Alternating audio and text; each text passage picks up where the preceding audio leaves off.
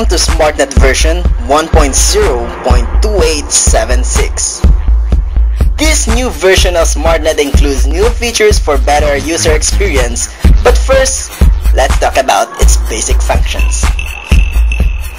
This section shows you all your friends, which is divided into three categories, Contacts, Friends, and SmartNet. Contacts is the list of all people in your phone book. Selecting one contact will display the contact's information such as mobile number and email information. You can also call, send email, SMS, or pass along the selected contact. On the Friends that it will display all your friends on SmartNet. Selecting a friend will also display his or her information. And additional buttons is also available and these are the profile, chat, and effects button. Selecting the profile button will lead you to the person's profile on SmartNet. Start a conversation with the chat button and say big things in small package with effects. Search people within Smart Network with SmartNet tab. Profile will show your SmartNet profile and other personal information. Groups will display all the groups on your Android phone. Let's go back to the home screen. Chat is your gateway to get connected to your online friends, whether on Facebook, Yahoo, or SmartNet. A 3-in-1 messaging app.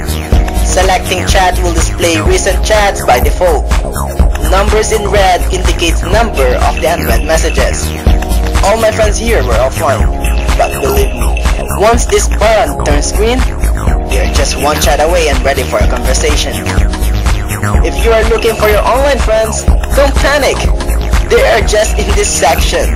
In here, Contact Style will show you your online friends on your Facebook and Yahoo. It will also display all your friends on SmartNet, whether they are online or not, so you can send them a message and they will receive it once they are back online.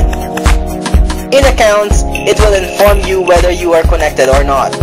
You can also choose where you wanted to be online. Well, in this case, I'm online in these three platforms, SmartNet, Facebook, and Yahoo. However, we're not yet done. We are yet about to get the gist of this app. The social section is my favorite part of SmartNet app. It provides the feeds from the world's most used social networking sites, Facebook and Twitter. Opening social will display the feeds from all platforms by default. Twitter, Facebook, and SmartNet feeds. Just slide with your finger to change from all feeds to SmartNet, Facebook, and Twitter. And pull down the feeds and wait for the arrow to turn upside down and release to update.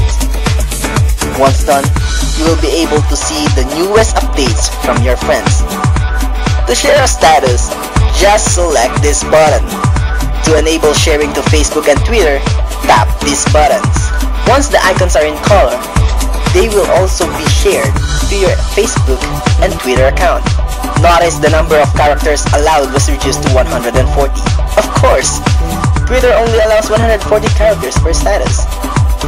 With the newest version of SmartNet, it now supports mention and check-ins. Mention your SmartNet friends in your status update or tell everyone where you are to check in. This is the safe browsing mode. It helps you prevent any unwanted data charges.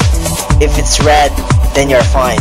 You will not be able to access any site but Smart and will block any data transfer except SmartNet.